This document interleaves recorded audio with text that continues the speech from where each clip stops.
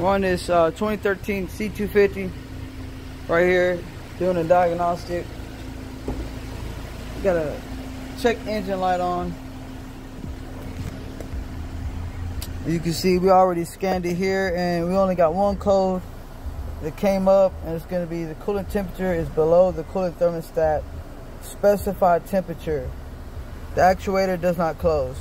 This means that the thermostat is bad. So also the customer was smelling some oil. So we got our oscillator here with the camera.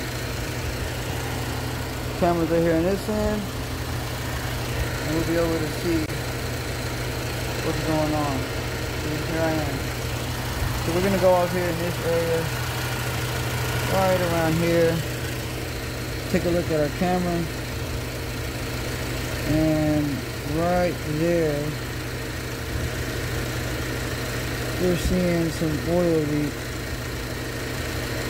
right around there. Small seepage. Most likely just a gasket. Damn I think that's for anyways. So we got that